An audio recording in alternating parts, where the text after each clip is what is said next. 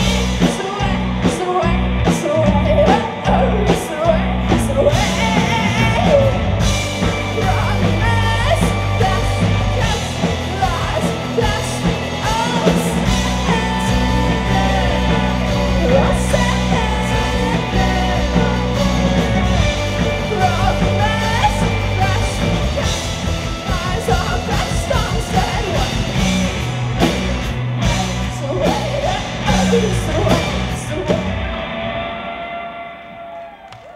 you guys so much.